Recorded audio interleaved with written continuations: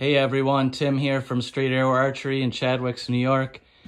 Just giving everybody a quick uh, peek here of the new Hoyts for 2024. Um, the new carbon bow here is the RX-8.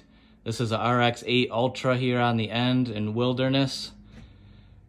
Next to that, we have the regular RX-8. That's their new smoke gray type color. Pretty sharp. Uh, next to that is another RX-8 in Realtree. They've also come out with the Alpha X.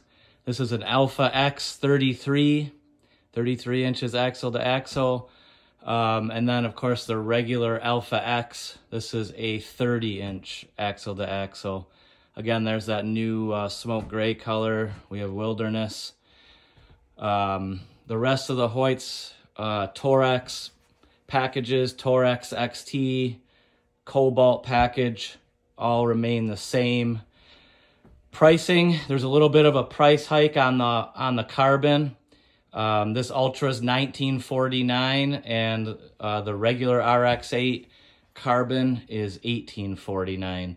I do believe the rest of the prices stayed the same, just the carbons went up there a bit.